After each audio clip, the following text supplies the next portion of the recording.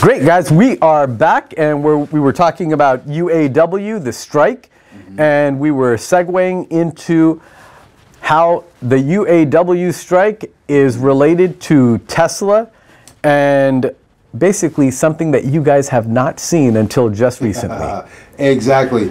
Um, I found this amusing. Um, I'm a low key Tesla hater, I'm going to be honest. But I respect Elon Musk for his grind. He's got an excellent grind. Yep. Can't say that about X. His product has lost, what, 50% of its value? Um, but I respect what he was trying to do. He was trying to protect free speech. He actually said it on uh, Joe Rogan's podcast not too long ago. Yeah. Um, so let's get into Tesla. Um, something extremely interesting came into play, and uh, I want to pull this article up real quick because I want you guys to. Um, I want to. Um, want you guys to actually see this. Uh, I actually forgot to pull this up. Oh, it's Well, for news. basically 10 years that Tesla's been selling, no one ha- they have not had any advertisements. It's all been Oh, word of wow. mouth. And now they do have advertisements. And who is doing the advertising, Bard? That's what that's what I want to get into. Actually, let me um, let me just read it from here. Um, so there's a guys. So there's an institutional investor.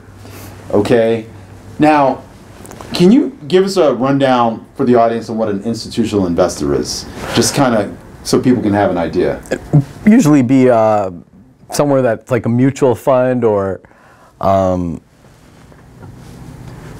yeah, some type of uh, some type of a stock or you know I don't know it could be something like Acorns even you know that own enough shares that they're concerned. And when you look at that why do you advertise? You advertise so you can sell more products. And why is Tesla not advertised in the past? because they had the key. That's the key. in the past they had no Competition. no competition They were within a vacuum, we would say. Yes. So they enjoyed all the bragging rights of, oh, our vehicles are the fastest. Oh, our vehicles have. We're saving the of range. planet. Oh, we're saving the planet. And now, a monopoly right, and now, and now everyone is literally destroying them at every metric along the way. Every metric. Speed wise, we have Nevera, we covered this, Nevera, Yep. Lucid. And what's funny is the, the CEO of Lucid came from Tesla. And now he's got a faster car. Well, and the, and the thing is, what you're finding now is people are still going to buy Teslas. And They will. Bard and I are kind of in different places with this. He's a, you know, like he said, low level hater or whatever. I yeah, low key hater. I'm not a hater. I um, I look at things exactly like I said before. I amortize the cost of everything, and if a Tesla is going to be the cheapest, that's what I'll drive. All right. So, um, and I would look at it in terms of repair. All of these things would make me still buy a Tesla, at least at this point. The 2024 Tesla 3 is supposed to come out, supposed to have a greater range, even though they're downplaying that, than the Tesla, uh, the 2023 model. So they're not lying on the software anymore? Are Oh, they well, they, they still lie. Oh, okay. I mean, it might say 330 miles or whatever for the standard, Minus about 20%. maybe more. If they keep it going. Okay. Because well, the other one I think it was at 200 and um, I think it was it said 250 or 260 miles, and it was actually getting right around 209 um, in testing. So Right. Who knows if you have your air conditioner on and you're going or heater on and you're driving in a cold environment like um, Saskatchewan or Alberta, Canada, you might be down to 120 miles. Yeah. So- you know, I just uh, just just real quick, I just realized uh, I had my mic on mute. So, but that's okay. Your mic's on, so Yeah. um, we're still. I'm still going to come through. I hope you got you know. But anyway, um, it's back. It's not on mute anymore. But I'll just have to adjust that. But go ahead. You're. you're I was gonna. Yeah. Go ahead. I was gonna. I had the stat. The who the the investor is. But go But ahead. I think that Tesla is going to still be able to sell vehicles specifically because they are now kind of changing from a luxury car into just like the Normal, Honda Civic. right, the normal everyday. It's the Honda Civic of um, maybe not quite a Honda Civic, maybe a Honda Accord or a Camry of the Model cars. Three. It's smaller than those cars. Not as No, but I'm saying, like for example, it's still better Like a Civic It's still better than a Bolt. Like I would say, a Yeah. Bolt would be more of the the Civics. Right. So in this article, let me say this: there's a Saw- Sawyer Merritt. I think that's the institutional investor, Sawyer Merritt. So basically, oh, actually, no. Sawyer Merritt, um, no, that's not the institutional investor. I, I apologize. Uh, I'll find that here in a second. But it, it doesn't matter. Why, from your perspective, why are institutional investors now concerned with this? Why would they? Why would they be advertising? I okay, so Tesla. Okay, so institutional investors want to make money for themselves and their clients, right? Now, Tesla's been losing market share every year in the EV market. Now, the EV market up until this point has only represented 1% of global sales in terms of automobiles, right? Um, so, it's a tiny piece of the pie, but it's a growing pie now because as in economics, a little balloon, you squeeze one end, the other end gets bigger. So, due to legislation, um, cars are going to be forcefully obsolesced. Yep. Uh, internal combustion internal combustion engine cars, gas powered diesel, are going to be uh, forcefully obsolesced through legislation due to the climate, right? Thank So, you, Gavin Newsom. Right, exactly. So, um, now, uh, so what's happening is the institutional investors looking at this loss of market share over the last couple of years with Tesla, they've gone from 100% of the market down to like, they're a little bit over 50. I think they're at 56% now, if I'm not mistaken. I could be wrong. But they've lost a lot. And I would say in the last three years, they've lost about 20% market share. Okay? They've, they've lost, in the last three years, don't, don't you know, don't um, quote me on the exact numbers, but they've lost a, substa- a substantial amount, around the 20%, give or take 5%. So they are losing market share. So if you've got X amount of money invested and you have paired with a inflated stock price per Elon Musk himself, Well, Right. And basically, for those of you guys who don't know, um, what Bard is talking about is Tesla's stock price as related to their price earning PE ratio. So, a PE ratio is how much money or you're going to be pulling in in the future. And Tesla's stock price, to go along with Elon Musk was um, being honest about, is it's so outlandish. They produce very few cars relative to Toyota and Ford, yet their PE ratio is giving them a company that's worth more than both of them. now So, let me let me comment on that because we were talking about okay when it comes to investing you know you guys are familiar with pump and dumps. Everyone knows what a pump and dump is Ver, pump and dump is. Very common in your um, Like boiler unregulated Yep. or think think crypto wild wild west crypto before there was any sort of government oversight in terms of you know the government going after the bad guys like Sam Bankman Fried Friedman or Freed or whatever his name is. Um, there are a lot of pump and dumps where pump it, a pump and dump is where they lie to you to get the price the value inflated and then it drops off. And the funny thing is, we did a video on Tesla, the dark side of Elon Musk. What's funny is, Tesla, in a sense, is sort of a pump because he lied about the range and he's getting sued now. He's getting sued. The government is actually suing uh, Tesla right now. So now, and he did that. And see, when you do things like that, you affect the stock price. The stock price goes up. So now, when you operate in a vacuum, being the only electric vehicle um, maker with this huge network, and the cars are super fast and super cool, and you've got um, all these different companies surround. Elon Musk is a brand in and of himself. Yep. He's a brand. So you have this rock star CEO. He's created a cult. Okay. Now you have something interesting going on. There's a lot of pump being put into this brand of Elon Musk and all these cars. I think that is how you explain at least some of that stock price. Because there's a lot of hope for the future. But look, now look, look at what's happening now. With the market share of EV vehicles, the more vehicles that are being put out. I, I, I, I had a stat on this a long time ago I was using because I was arguing with uh my cousin about this. He's a big Tesla fan. There were people surveyed and a lot of the people that were surveyed said they wouldn't buy a Tesla. And they were waiting for something else. So they didn't trust Tesla for, some, for whatever reason.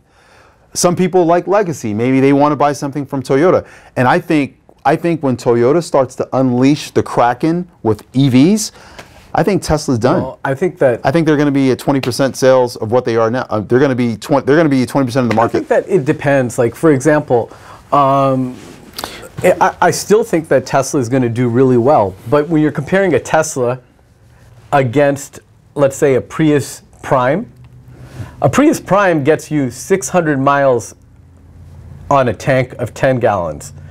As long as I mean, the, as long as you use a plug-in. If you're just doing all electric, it might get you 40 miles. That's a way better deal for the average American who says, well, Exactly. if I have to get a Tesla, I have to have, it's great to have an all electric car, but I have to have another car in order to go somewhere further away. And you need infrastructure. That's why a lot of people are returning their Teslas because Yeah. they were like, I can't charge this thing. And the superchargers But you, are you would think expensive. that these, you would think that these people would think about this before they buy the car. Right. That that's the cult aspect. I mean, That's your see, guys. That is your cult aspect of Tesla. People want to be a part of the cult. Cults are cool. People always overspend and do things because of the cult aspect of a company. I mean, Look at iPhones. What, what's happening in, in in in Asia with iPhones? iPhones are, are not affordable in India, but people are buying them anyway. They're it's like it's like the equivalent of us paying like two grand or three grand for a phone. They're they're they don't make as much money in some other economies yet. They're going out of their way to buy these. Um, and it's obsolete in two years. and it's obsolete in two years. But it's the cult that that create that paves the way for this sort of spending. Yep. That's what a cult does. So anyway, um, in terms of uh, Tesla, um, with with the so the institutional investor, I still don't know who this who the investor is. It doesn't matter. They are they don't believe in the leadership of Tesla. No. Because they see they see the numbers sliding, and there really is nothing Elon Musk can do about it, to be honest, because Well, competition is now here. I think that there are things that he could do about it. And uh, what I think he could do about it is probably coming up with maybe a hatchback or a normal looking pickup truck, you know, or um, even starting to produce other hybrids. So let, us look at it this Hybrids. way. Mm. Like if you have a Tesla Model 3 or something like that, right? That has 100 miles or 120 miles of range, all electric range, and a five gallon tank. Again, you're getting going back to older technology, which is an ICE engine, right? An internal Right. combustion engine. And I, I know I don't think he wants to do that. No, it, it defeats the purpose of Tesla. Yeah, but there are different things that you can do, and you know maybe um, you just make a smaller, like a, a, a Ford Maverick style, smaller truck. You know, He needs rather, more. rather than something that's really hideous like Right. this uh, Cybertruck. Cybertruck. Which we're going to get into in a little bit. Yeah. But let's, let's look at it this way. He'll never have 90, 100% of the market ever again with No. EVs. So I don't care what he comes out with. But the thing is, I don't think it matters. There's there's brand loyalty when it comes to see. I think these institutional inve- I think I think Tesla stock is going to drop big time, and I think these institutional investors are on their last ditch effort. But I think they're done. I think this is what's going to happen. Now they're advertising because they see no way out of this but to advertise, to break even or to get back what they've they've they're losing ground. Or- Tesla's losing market share to lessen the blow. or to lessen the blow. So they have to advertise. But what's what's eventually going and it's only going to be a band-aid. Because eventually what's going to happen is I believe Tesla will be somewhere around 20 to 30% of EV sales once the legacy automakers, Toyota, Mercedes, Volkswagen. Ford, the big 3, Volkswagen, etc., once they get their models out on the market and it's established, I think 2025 is going to be a real test. changing point. Yeah. That'll be a, that'll be a real test. because I think that in order for them to jump in, and you look at the sales of Ioniq sales for the Hondas, Mm-hmm. man, they're you, everywhere you look, you see Hyundai Ioniq fives all They're over crushing the place. it. They're crushing it.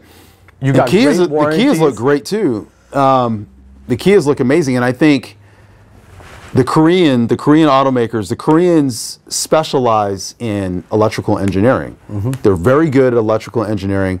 I don't think their sh- strong suit is automobiles and mechanical engineering in, in terms of making engines. Oh. They they haven't been the, they're at they're at the bottom in terms of reliability. Oh, Some they're. American cars are better. They're not that great. And and early Hyundai would outsource motors from Mitsubishi, which isn't really that great of an engine anyway. Yeah. And anything they would make in house wasn't that great anyway. And it, they just don't compare when it comes to internal You know- combustion engines like Toyota. Tesla sales might be buoyed though by the Cybertruck because I saw just uh, I think I was mentioning it to you. There was a guy selling an option for a Cybertruck that's scheduled for delivery on November 30. It said it was already built. He's selling that option for $12,500. You could be one of the first people in the country to have a Tesla Cybertruck. And maybe people are going to flock and buy this, um, in my opinion, absolutely hideous truck. Well, let me let me push back on that just a little bit. Let, let me not totally disagreeing, but let me say this. You mentioned the Cybertruck as being uh, maybe a possible way for them to kind of Yeah. mitigate losses, right? Let me say this. Maybe the hideous aspect of the Cybertruck is what they need. Maybe they need a, a product that is so radically different that it draws in a completely different market. Well, Maybe that's what it is. you know, I, I I think that there's a lot of rappers and a lot of people who live in big cities, Portland, um, San Francisco, Los Angeles, Detroit, Chicago, um, New York, Baltimore. They need these trucks because they're supposed to be bulletproof, arrow-proof. you just need it because Yes. you might have IEDs in American street pretty Pretty soon. soon, yeah, yeah. Thank you, Democrats. But, uh, I mean, the, the point is, there's if there's one reason I would consider one of those is because they're bulletproof. Because the util- the utility. Yeah. See, Exactly. see, Tesla making some. Tesla has to do something different to enter the market and to, to keep the market. And I think they have to continue with different things, radical ideas, to make it seem cool. And I think it's a smart strategy. I don't like the Cybertruck at all, but if you lived in Detroit, would you buy one? Probably because it's bulletproof. yeah, and it's cheaper than it's cheaper than trying to bulletproof a, another car. Exactly. It's way cheaper. It costs you hundreds of thousands to do that. So I think If you were Tupac, would you buy one? yeah, you would. absolutely, you know, in retrospect. so when you look at it, who's ordering now? This caught my attention. There's um, I don't have to pull this up, but I'll- let me say this: the some police departments Oh yeah. are going to be buying Cybertrucks. Maybe you could pull it up real quick if you if you if you can. Well, it doesn't matter. I mean, we, as long as we. All right, so we, we know that. Now, we do know this. Tesla is competing. Who's their competitor when it comes to bulletproofing uh, police vehicles? Who's their competitor? Ford. Ford, the Ford Explorer Interceptor, which is the police brand, Yeah. is now bullet resistant. Not totally bulletproof, but it's so it's going to guarantee survivability of officers. Let me tell you this, Bard. Every police department better start replacing their cars with electric. Because if they're they forcing that on everyone else, electric cars over the long run require less maintenance, they're less money for the American taxpayer. For sure, for sure. If they're making us buy it, they better buy it too. And look at this, they are. Um, I was watching uh, some a police show on um, on YouTube. I don't. It was just there's tons of police shows. It wasn't. It was like Can you imagine? it was just some something from body cam cover body cam footage. Just a second. And the um, the police department, I think it was in Oklahoma. The cop was driving a Tesla Model Y. yeah. Could you imagine um, Walker, Texas Ranger, having you stopped and charged for like five hours? Oh my God! You know, eh, yeah. You know, and here's the thing: we we were kind of joking about this yesterday, but the Cybertruck looks like something. It honestly looks like something you would drive in a dystopic society, like the end of the world, Which is where we're heading. which is where we're heading, conveniently. And here's Elon Musk supplying that need. Yeah. We have a really hideous, bulletproof, uh, metallic, which is very indicative, you know, of sort of a bland look of that. That's the look of dystopia. It kind of looks like Terminator, Robocop. Yeah, exactly. It, lo- it, it's very fitting for the times. you have no future. You have no, you have no future. Uh, you'll have nothing, but you'll be happy. Yeah. World Economic Forum. Anyway, so I think um, I think that's that's the market, and I think that's where we're headed. Anyway, I'm done with this section. You have anything to add? Nope. Um, but I'll tell you, if I was going to buy an all-electric truck right now, it would have to be a Rivian. I think They're- the Rivians are nice. they're beautiful. I think they are nice. They they're fast. Beautiful. They have a real interior, unlike uh, the Teslas. Uh, Well, who knows? some Teslas, some Teslas have real interiors. I don't really have a problem with how the not big Cybertruck looks inside. It's just the outside that's pretty heinous. It's it's it's hideous, but there's a market. Yep. And there were people there were a million people who signed up, who put down money to sign up. So it tells me Elon Musk is either a super genius and he's tapping into something we don't understand, or Well- he's a fool and he's going to be He's a, a, super failure. genius because as soon as you get those orders in, he was able to take loans against those orders from banks. So Great- great point. I mean, it's it's Great like uh, pre-selling a house. You know, you True. have uh, you just start building them, you pre-sell some, and then you can get more loans based on your pre-orders or whatever it is. And let's look at the commercial aspect. Commercial being the police departments who are buying them. If he can sell to all police departments and promise them savings, Yeah. which he will do, which they will save money, because on repair, Well, he'll probably promise them all superchargers as well. You know. supercharged so repair and cost on fuel, they will save a ton of money. Yep. And the Cybertruck, the top of the line line model, which I'm sure the police will get that, and they'll probably get a discount on it. Zero to sixty in what two seconds? Two point three or two one point nine? It's fast, and it's faster than anything they have right now. So he is answering a need. He's going to save money, and he's winning. The possibilities to run over more speeding motorcyclists is they're endless. Great for police chases, and it's heavy. It's it's survivability, bulletproof. yeah. He's probably he's probably smarter than we are in terms of this truck, and but aesthetically wise, I don't like it, but I see where it serves a need. Think about how much faster they could have gotten to Uvalde They could have waited and had ice cream. Donuts. yeah. All right, guys, are we done? Yeah, we're done. All right, guys, we're out. Uh, this has been the Sagey Bard podcast. Thank you for all of our new subscribers. Hey, guys, definitely like, share, and subscribe. Definitely And share. comment, comment, and comment, comment. guys. We comment. We we answer comments. We're not like other uh, YouTubers who are uh, you know got their nose in the air. We will answer comments um, if we like them. Uh, and guys, that's it. Guys, we will see you in the next one. And as always, thank you very much. Thank you. All right, bye.